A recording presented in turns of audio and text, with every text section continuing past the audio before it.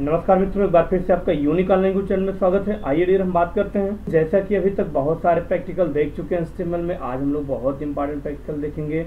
उस प्रैक्टिकल को हम लोग अभी देखेंगे। जैसे जैसे मान लीजिए एचटीएमएल में हमें अगर किसी फंड को बिक कर बिक करना हो, किसी टेक्स्ट के किसी टेक्स्ट को बिग करना हो, किसी टेक्स्ट को स्मॉल करना हो तो आज हम आपको बिग और स्मॉल टैग का यूज़ करते हुए इसकी आज हम कोडिंग करके आपको दिखाएँगे।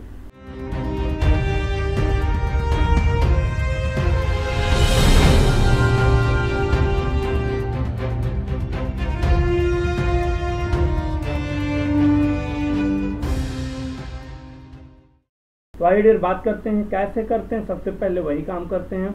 एस ओपन कर लेते हैं और एस ओपन करने का मतलब आपको पता ही है, यानी नोटपैड ओपन करेंगे और नोटपैड में हम लोग कोडिंग करना शुरू करते हैं। तो देखिए डियर हमने यहाँ से नोटपैड ओपन कर लिया, नोटपैड को हमने यहाँ से ओपन करते ही और यहाँ से हम अपना टैग स्टार्ट कर दिए। टैग हमारा कहाँ से स्टार्ट होता है आपको पता ही होगा।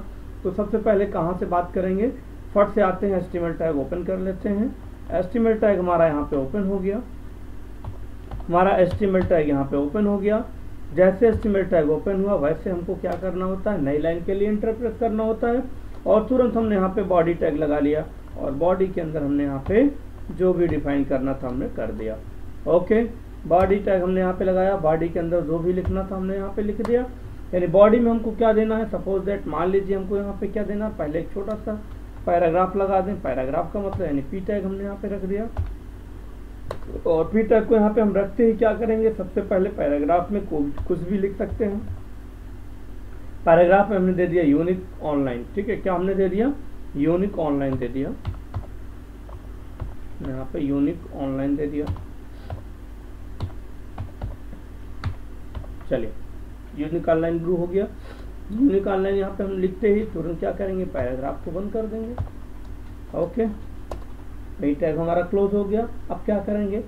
पी टैग यानी पैराग्राफ को इस्तेमाल करना चाहते हैं, यानी हम अपने कंटेंट को इस्तेमाल करना चाहते हैं। तो सबसे पहले क्या कर देंगे?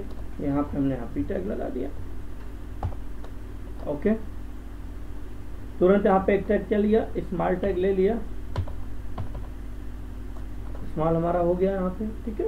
अब स्मॉल में जो कुछ आपको लिखना है, बिल्कुल यहाँ पे हमने लिख दिया। क्या लिखना है? This this this text is small. This text is small. Text is small. This text is small. हमने यहाँ पे टाइप कर दिया. दिस टेक्स्ट इज़ स्मॉल हमने यहाँ पे टाइप कर दिया. ठीक है? और लिखते ही यहाँ पे तो हम क्या करेंगे डियर स्मॉल टाइप को यहीं पे बंद कर देंगे. स्मॉल टैग को पर बंद कर दिया।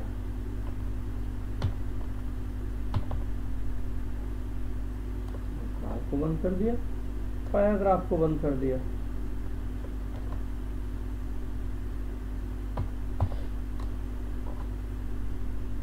ओके पैराग्राफ क्लोज हो गया। अब आपको पता है कि बॉडी ओपन है।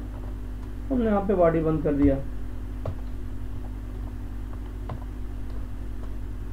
हमने यहाँ पे क्या कर दिया? बॉडी क्लोज कर दिया। अब क्या करेंगे? बॉडी क्लोज करते ही तुरंत हमारा क्या बंद हो जाएगा? एस बंद हो जाएगा।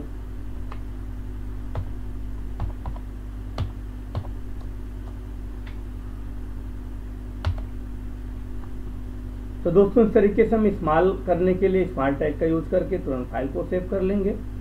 सेव करने का तरीका वहीं सेव में जाएँगे डेस्कटॉप सेलेक्ट कर लेंगे। जिस नाम से सेव करना हो, यहाँ पे हमने लिख दिया।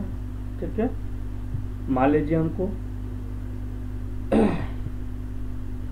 अनुज नाम से फ़ाइल सेव करना है। हमने यहाँ पे अनुज डॉट एस कर दिया। अनुज डॉट एस की फ़ाइल में यहाँ पे सेव कर दिया। तो दोस्तों, इसी तरीके से हम लोग क्या करेंगे? अपने फ़ाइल को यहाँ पे देखिए, कैसे रन कराते हैं मिनिमाइज करते हैं। और अनुज नाम की फ़ाइल हमारे सामने है और हमने अनुज नाम की फ़ाइल को क्या कर लिया? ओपन कर लिया। जैसे हम ओपन करेंगे देखिएगा हमारा स्मॉल टेस्ट ऐसे इस तरीके से आप लोगों को आपके वेब पेज में दिख जाएगा, जैसा मैंने आपको बताया था।